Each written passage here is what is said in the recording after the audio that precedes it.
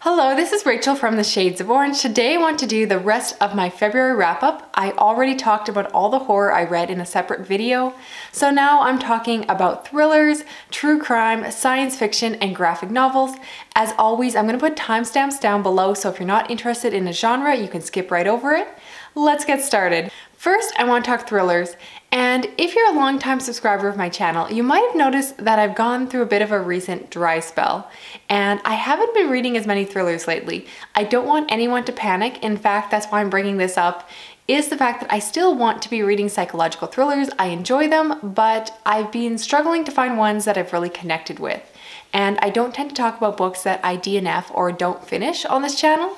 So that's why you haven't gotten as many thrillers from me lately but I did read two this month, one which I really enjoyed, but I am looking for recommendations for newer thrillers that are a little bit different, something that is just out of the box. I have gotten a little bit tired of the domestic thriller about a husband and wife, so if you've read something and thought, hey, that was a little bit different, if it was dark and creepy, you know my taste in reading, please recommend it down below. I really need some different ideas and there are so many psychological thrillers coming out these days, it's hard for me to weed through and figure out which ones are gonna be up my alley. So I'd love some help with that. Now, getting into the books themselves, the first thriller I read was Disturbed by Jennifer Jaynes, and I heard about this from Kath's channel, and I'm gonna link her down below because if you are looking for more thrillers, she is a great booktuber to follow. She reads thrillers quite regularly, and particularly adult thrillers, so I do get recommendations from her, and would highly recommend go checking her out if you're not already subscribed. But going back to the book, Disturbed is about a young woman who was partying in college. It was her friend's birthday on Halloween and something went horribly wrong and the police found her as the only survivor of this terrible massacre. Her boyfriend at the time was believed to have murdered everyone, but he has not been seen since and is now on the run. And the story starts a few years after that where she is now trying to put her life back together, but she is very scarred by this event and really struggles to move on. She has a lot of PTSD and just has a lot of issues surrounding that.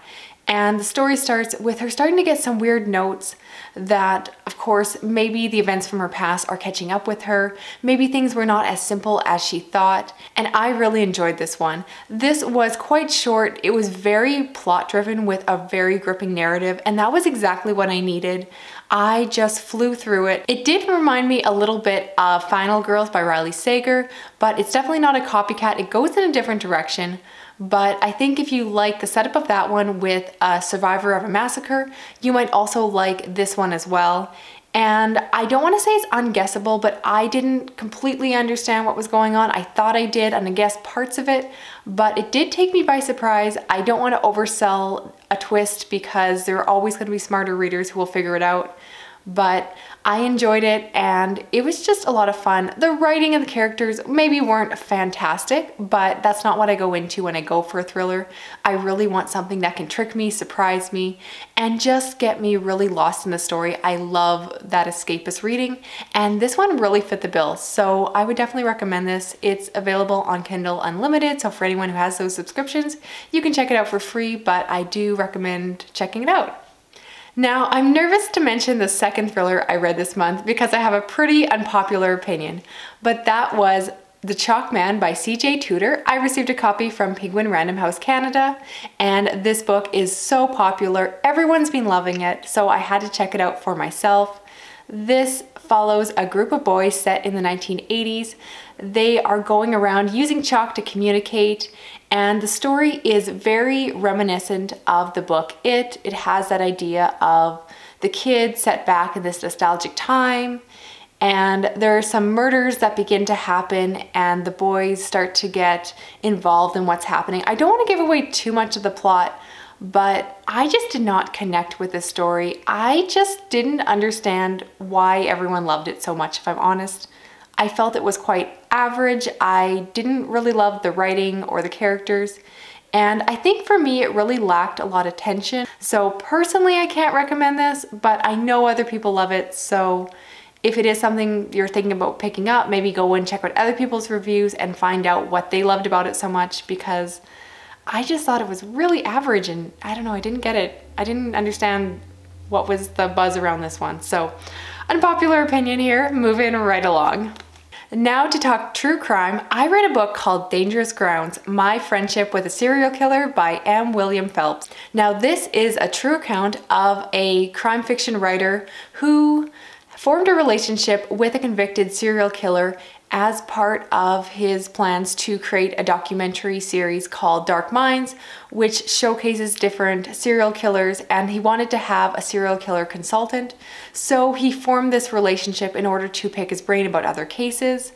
And so the word friendship is a little bit misleading. He definitely attempts to keep that barrier between him and this person, but in doing this show, he had to spend a lot of time with him. And the story is partially about the serial killer himself, who on the show was only known as Raven, but is actually a very well-known serial killer. So if you do follow a lot of cases, you'll probably recognize who it is.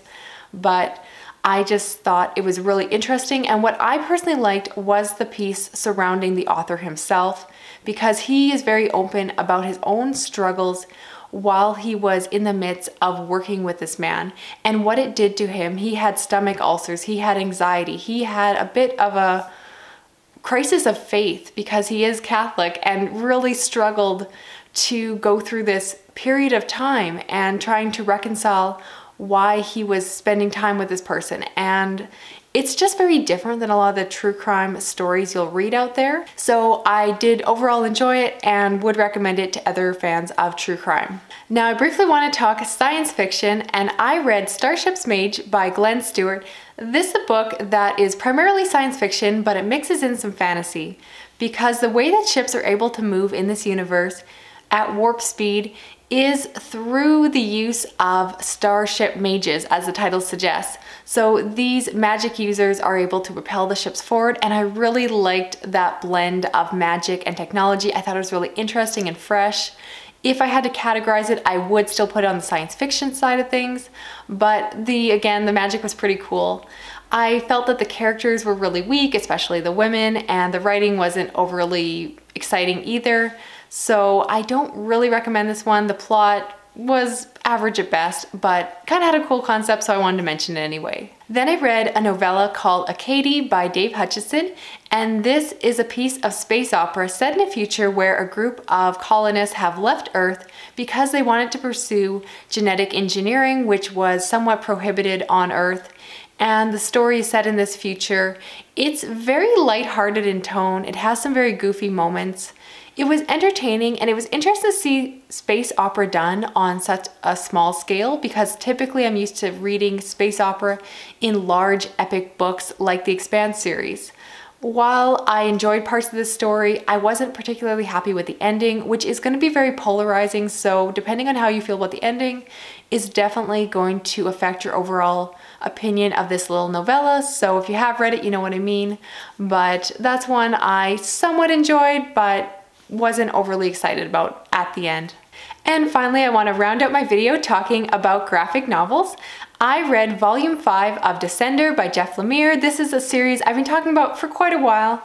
It follows a young AI boy who is a companion to a human and in this future, something has happened where humans are no longer trusting of the AI and are basically hunting them down and destroying that technology. I love the artwork and I definitely recommend the series.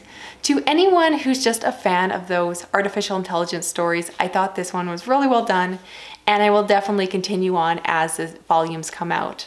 I'm also still reading a manga called What Did You Eat Yesterday about a really cute older gay couple that are living in Japan and are trying to live frugally and still eat delicious food. It's cute, it's totally different than the other stuff I read, but I really enjoy it and it always makes me want to make stir fry after I finish, so I do recommend that one if it sounds up your alley. And finally, I want to talk about Bingo Love by Tee Franklin. This is a wonderful contemporary story about a lifelong relationship between two women. They met in school and fell in love, but through circumstances and the situation of the time, they did not stay together but instead went off and married men.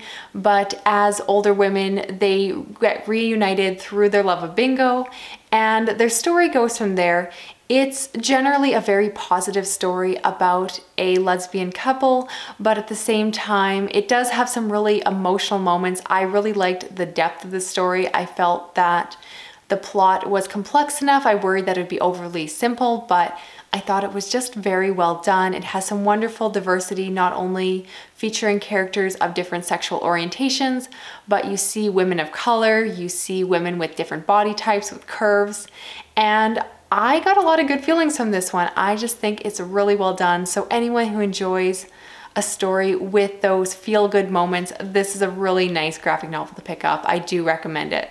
So those are all the books I read in the month of February. As always, let me know down below if you have any questions. And I also want to remind you to give me recommendations for some psychological thrillers that you think I would enjoy. I really need some recommendations right now. And as always, thank you so much for watching. Uh, please consider following me on Goodreads, Twitter, or Instagram. And I will talk to you again soon, another video. Thanks. Okay, bye.